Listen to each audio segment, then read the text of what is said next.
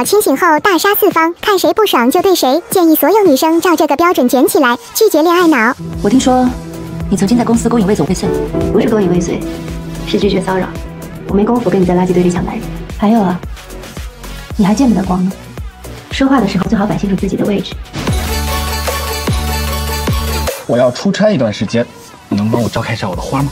我要是答应你，接下来你是不是就该管我要微信，然后三天两头的问我这个花怎么样，然后顺便再跟我聊聊诗和远方。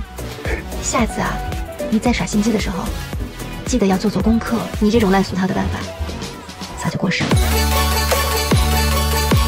别装了，虽然没明说，但大家都知道你就是那个出卖公司向媒体爆料的内鬼。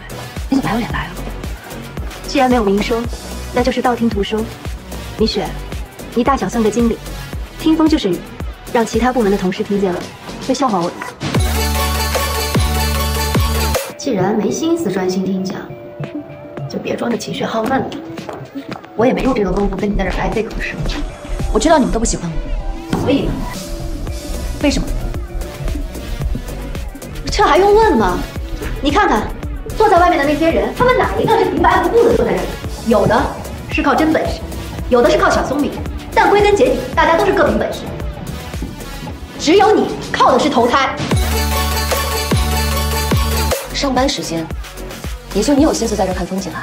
我反正也没什么事做，在工位上待着也是浪费水浪费电的，不像你，在工位上少待一分钟都是浪费。